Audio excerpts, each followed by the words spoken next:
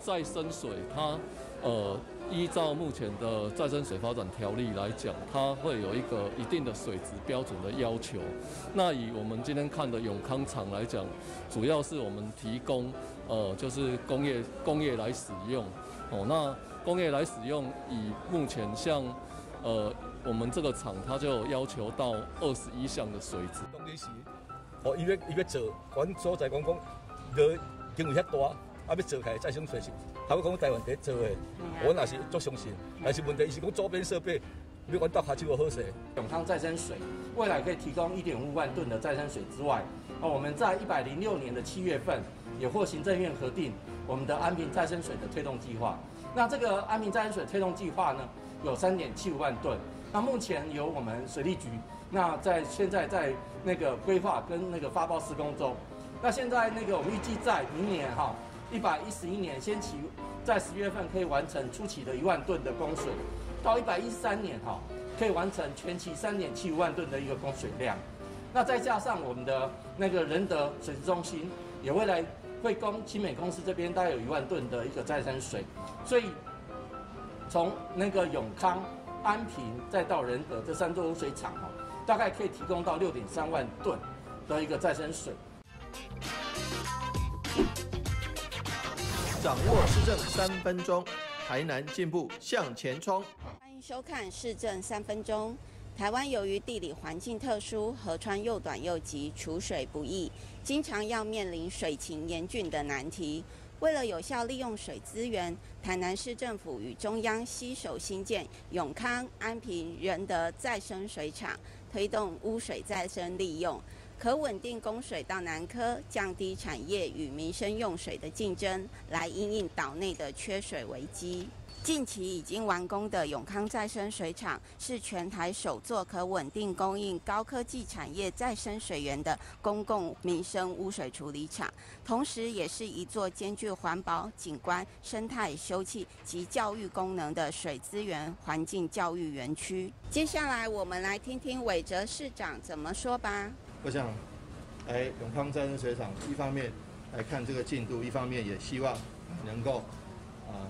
在这个现在的严重枯水期，能够提供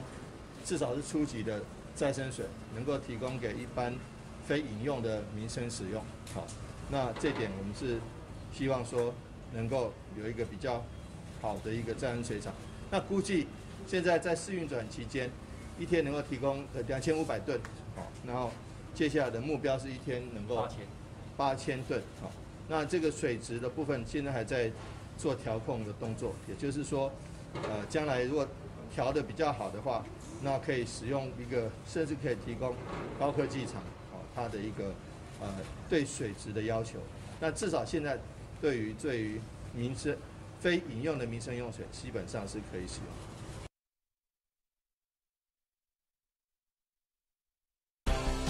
接下来请收看中嘉新闻。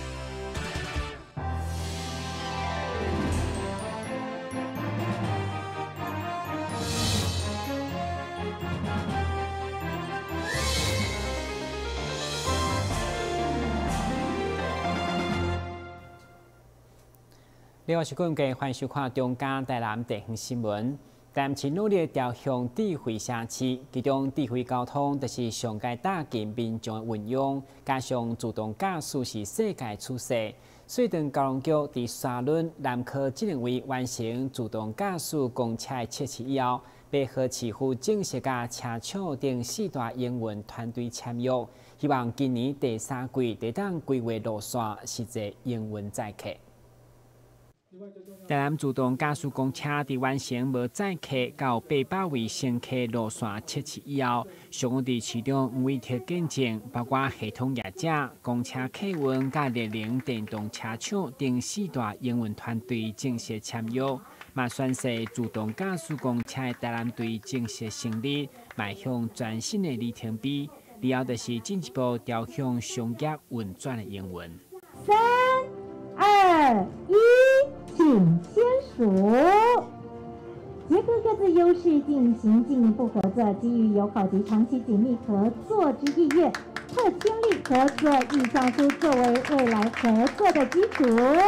来，谢那自家的中巴才在经过一年多的一个封闭场域测试之后，现在已经开始走入开放的道路里面。那我们希望说，这个这次的这个啊自驾车的这个实验，哦，这个路障实验能够顺利。那也呃台南市政府也愿意跟啊不管是系统业者，或者是这个啊公车业者，或是绿能业者，啊我们一步到位，让绿能的电巴直接可以上路。啊，那就在一方面呃减少了环境的问题啊，要增加了大家对于自驾车的一个信任感。我们希望说这次的试验好到十月这半年可以非常非常的顺利。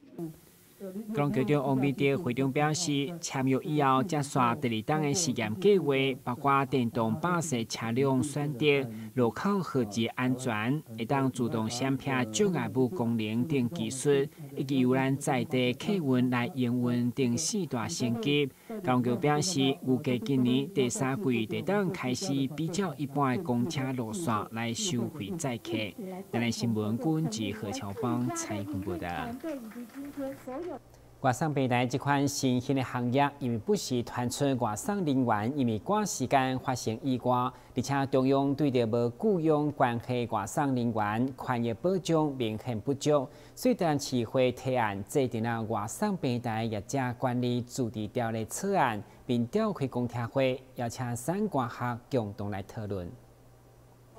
台南市议会伫个第三届第八次的临时会，由议员蔡耀辉提案。制定台南市外送平台业者管理自治条例草案，上午伫个明治艺术中心来召开第一次的公听会，邀请专家学者、业者代表加市府相关单位共同讨论。会中主要针对外送员加外送平台的关系，到底是承揽或者是雇佣的劳动关系，充分来表达意见。到底因的关系是雇佣关系还是承揽关系？我也搞不清楚。第三个是讲，因遮辛苦，你拍拼，你走业务的时阵速度遮紧，因有保障无啊？他说，因公司因的关系，假设是承揽关系的时阵，他们更应该公司，互因一个保障，啊无等你辛苦过三顿的时阵，若保险金的不够，因照税顺便啊去赔对方，啊家己发生代志。一个里边保障家己，这个这个外送平台跟外送员之间双方面，他们都喜欢签承揽契约，因为承揽契约对外送员来讲，他的条件是好一点。啊，他条件要比那个签签那个呃雇佣契约的劳或者劳动契约的条件要好，所以一般外送员自己本人呢也喜欢签这个契约啊，所以很有雇佣关系非常少。所以，如果说是都呃，我们讲的是承揽契约的话，这个里边哈就没有雇主哈跟受雇者之间的关系了。会中公部门认为，目前中央已经有针对外送作业的法令规范，到底地形是不是阁需要制定驻地条例？有两种的讲法。不过议员强调，保障的是外送员的权益。尤其是发生意外时，是不是有保险的理赔定？目前中央的规定，它其实已经有相关的制定了。在一百零八年的时候，它根根根据那个职业安全卫生实施规则，然后两百八十六条之三的规定，它既有定定，然后中央也在一百零八年颁了食物外送作业安全的指引。所以这边在中央的部分确实已经有相关的规范了。那这边如果中央有规范的话，我们是不是建议就依中央的规定去做办理？针对非雇佣契约这个部分的话，我们认为说，因为它其实本案的自治条例涉及的就是它的交通安全，还有生命安全这些部分，我们认为说，人民的生命健康权不应该因为居住地而有所不同，应该是全国要一致性的。所以，既然身体健康价值在全国内应该要等同的一个对待的话，我们认为说这个部分是不是应该建议由中央来去做一致性的规范？他提出这个草样，我想他最重要。最主要的目的是要保障外送人员的呃安全，甚至发生事故后，呃有人可以出面，比如说这个业者一起探几的公司，这个业者能够出面来帮忙处理后续的一些赔偿问题。我想这是应该是我们蔡议会议员提案的最主要的一个目的。所以我想哈，不管说呃我们这个外送平台是属于呃所谓的承揽。的契约或是雇佣的一个契约，我请我们呃台南市政府法制处去研究一下哈。就是说，外送平台业者或许他们没有义务帮外送员做任何的一个保险。既然没有义务，那我们可不可以依自法以那个自治自自治条例来要求外送平台业者一定要帮外送员做额外的一个保险？台南市外送平台业者管理自治条例草案总共有十七条，包括对外送员的权益保障。外送平台食品安全卫生的管理、职业安全甲交通安全的法则等，议员要求市府相关单位马上拟定办法，到时提出来比对，并且召开第二次公听会，制定出较好的主题条例。台南新闻引根采访报道。所以，日前台湾有往来外销新加坡出现恶心问题，引起注目。对此，台湾的官媒往来配合正式外销集动到香港记者会中，市长除了出席见证，嘛强调台湾往来品质拢无问题。日前的恶心往来也正应该出面负责。因这四月份，台南官媒往来也开始进入采收期，拄好是品质甲口味上好的时阵。对此，关庙的南向合作社也将香港三月份的订单延到现在才来出货。八号上午优惠规装上十吨的货，将马上要送到香港，互国外的朋友会使品尝台南优质的往来。大了无单买，啊，咱准是拢去日本甲香港，吼啊，咱今日，阮今日是出头一季啦，香港的。啊，较早，阮本来是三月份，阮就接到订单啊，啊，阮三月份，阮。为了品质问题，所以阮应该今日甲出啦。哦，因为日准来较甜，啊品质嘛较好。配合上午市长王伟特也亲自来到南向合作社，除了肯定优质的官庙往来，也将对日前外销新加坡的欧信往来做出强烈的批评。就是我有人为了贪图一时自己的利益，然后把这个未成熟的、把不良的混鱼目混珠、混充好的台湾凤梨一起运出去。就会造成大家名誉上的损失，这种名誉上的损失，我不知道花多久的时间才能弥补。所以呢，我觉得这个不是说，呃，主委说要去补补人家十二吨凤梨，哦，心里的这个不舒服就可以解解决的。所以我希望说，不要老是让这个啊好的凤梨农或好的凤梨品质跟着受累。希望这些造成黑心凤梨的人自己出来说清楚、讲明白。我们也会顾好，就是说我们会要求我们自己台南的的这个凤梨品质严格自律，如果不做好的话，我们也一样处分的。市长也强调，为了确保台南水果的品质，农业局也拢会对源头做好管理，只要品质优良，就大大来支持。第一个就是说，我们哪一班的凤梨出口到哪里，要做详细的产销履历，哦，个人造业个人担，个人的凤梨也个人负责。所以说，好的凤梨。我们绝对加以 promote，啊，不好的凤梨，我们绝对要揪出来，啊，那这个田间管理跟安全性很重要。今天我们的凤梨，这里的凤梨，出去的凤梨，都有经过 SGS 的检验，所以安全性，哦，这个是毋毋庸置疑的，哈。那另外就是品质要好吃，所以这个也是我们啊要求的目标。目那如果说有违背这个部分的话，我们一定啊这个严格的惩惩处，不予宽待。农业局长谢耀清表示，现在台南的往来进入产期，农民只要用心来栽培，政府一定会积极来协助。除了国内的市场，也会积极拓展国际的行销，确保农民的权益。但新闻郭博义采访不得。台湾历史博物馆对一百零九年开始协助筹办国家网架博物馆的相关工作，过程当中收藏了真济台湾重要的网架杂志。其中，王子杂志创办人蔡坤林来到博物馆参访，重新看到一九六六年以亲手所创办的杂志，相当感动。台湾历史博物馆目前正在进行国家漫画博物馆的筹备工作，对此也收藏了真济台湾重要的漫画杂志。其中，一九六零年代重要的杂志之一，就是画面当中的这本《王子》。配合上午，《王子》杂志的创办人蔡坤林先生也特别来到台湾历史博物馆参访。看到这个杂志，也互蔡坤林先生想到当初创办的故事，目屎拢要流落来啊！小爷也真感动啊，感动啊要流目屎，哈！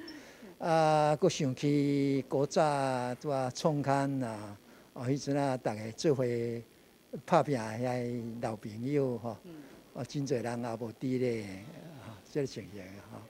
是《王子杂志》差不多是呃一九六六六零年代真重要的一个诶诶诶一个杂志啦，吼，啊，伊内容真丰富，吼，主要除了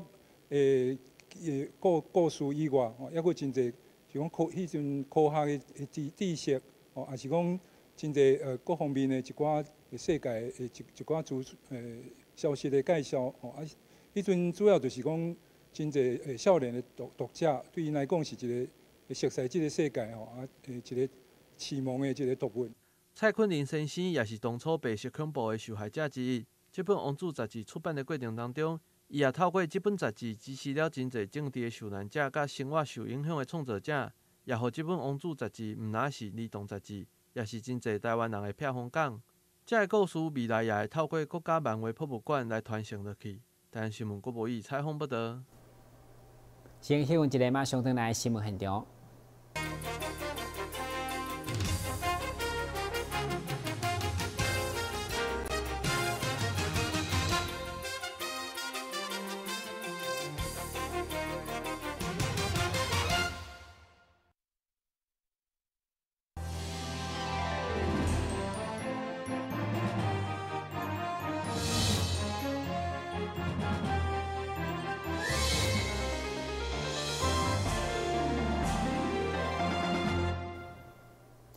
法国艺术家王白端，二十当来拢伫台湾甲法国参展，但疫情会决定登来台湾。现在伫火山国小附近开设个人艺术空间，都有艺术品的展览，了貌艺术家画图课程。伊伫开幕记者会中，文化局长嘛亲自出席解鼓励。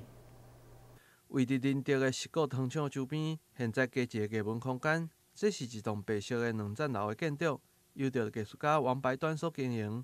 白端老师长期伫法国甲台湾两个所在生活，但因为疫情的影响，伊也决定留伫台南，重新规划家己的艺文空间。为了迎接开幕，艺术家也特别规划了家己的优惠特点。这个空间也提供茶甲咖啡，互民众会使轻松来欣赏艺术品。今天展出的作品呢是泰鲁格系列。那呃，这个系列呢是我在。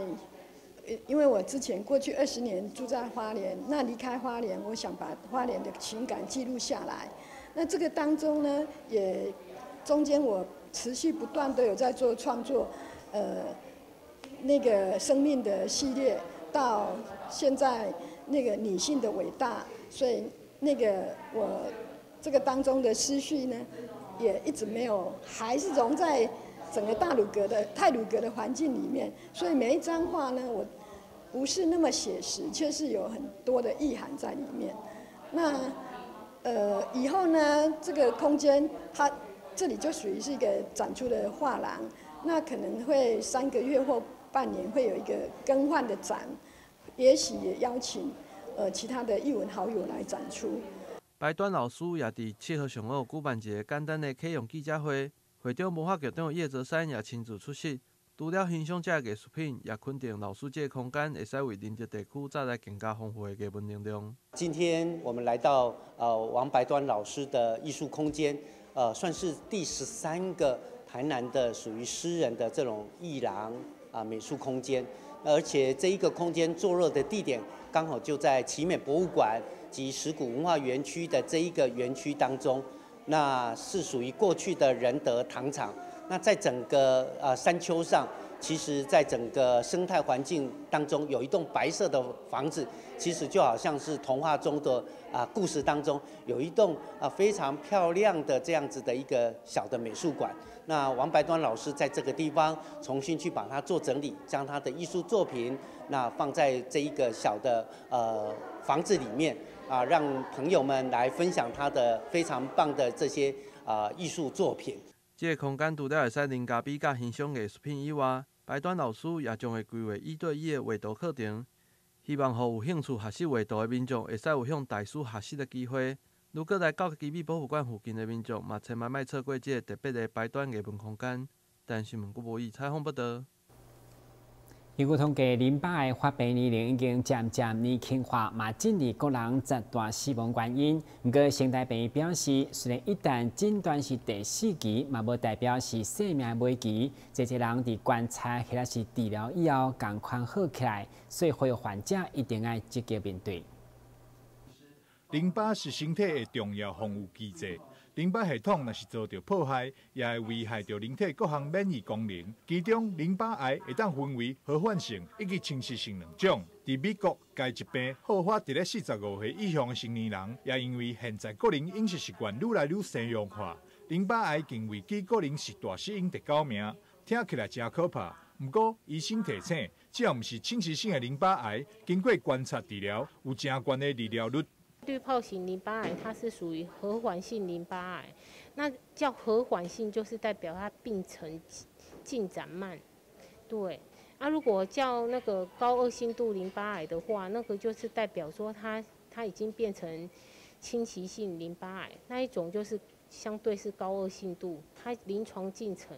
速度快，也就是说，我们的非核结晶式淋巴癌有进程快跟慢。那如果医生告诉你，你得到的是属于病程进展慢，那就是告诉你，你得到的淋巴癌是属于比较和缓性的淋巴癌。那和缓性淋巴癌当中呢，最常见的淋巴癌就是滤泡型淋巴癌。对，所以基本上病人如果假设无意间摸到他的淋巴结肿大，然后去就医的时候，医生告诉你说你只需要追踪，就请勿惊慌，因为基本上这个疾病呢，你早治疗跟晚治疗，基本上没有任何存活上面的差异。但医师另外指出，第四期滤泡性淋巴癌唔是就代表癌末，病人有缘会当接受观察，也则是治疗后好些。不过，滤泡型淋巴癌需要是治疗时机，医生为病人做整体评估，决定立定。当出现有高肿瘤复合、分级三，也即是转型型高侵袭性淋巴癌时，就必须要积极安排医疗处置，进行相关的治疗。台南新闻张硕伟采访报道。根据统计，下股这四十人来，性行率、并发症甚至死亡率拢快速增加。不过医生表示，因为下股死亡的个案，其实只要好好使用药物控制，大部分拢会当避免。就算严重性下股，现在向健保局申请毛生物制剂会当来使用。贵综合病院胸腔内科医师朱远志表示，一般造成下股的原因真多，因为伊是一种反复发作的疾病。所以下骨的诊断确定以后，就应该避免各种引发发作的因子，只要好好啊使用药物，拢会用来控制。不过，如果药物治疗拢无效，就可能是严重型的下骨。现在会用用生物制剂来治疗。严重的气喘呢，大概占我们大概五到十 percent 左右了，所有气喘的病人。啊，最严格的讲说，它它中间有一个叫做嗜酸型的气喘的病人。它的成比例大概四成到八成的严重性的比例，大概大部分都是属于嗜酸性的。嗜酸性的问题就是说，它会造成气喘更加严重，而且病人的在很强烈的药物控制之下呢，常常住院的这个病人呢，就需要一些生物制剂的治疗。生物制单株抗体的治疗，主要是在应用在治疗把嗜酸性球降低，把一些刺激，包括降增加我们嗜酸性球的一些叫做白介素五的。的增加的比例呢，那个刺激素减少，然后降低它白呃嗜酸性球的比例，减少气喘的发作。而这种嗜酸性球的降低的的主要生物制剂，包括拮抗的白介素五的拮抗剂，这些药物呢会会拮抗剂的很大的好处就是说减少嗜酸性球，减少气喘发作。哈，这些药物的申请呢就需要事先申请。而且他的条件是很严重的病人，而且需要长期服用类固醇的病人才可以申请使用这样子。医师强调，这种单株抗体的生物制剂会用来应用在严重的嗜酸性白血球的气喘治疗，不但会用来降低下骨的发作频率，而且对着细胞的功能也有明显的改善。台南新闻林根采访报道。新闻最后来关心详细天气变化。明仔是乌阴，有时侪云天气，温度二十一度到二十六度，白日好，海面平均风力四级到五级，上大阵风七级。感谢收看四月八号的中嘉台南电影新闻，咱再会。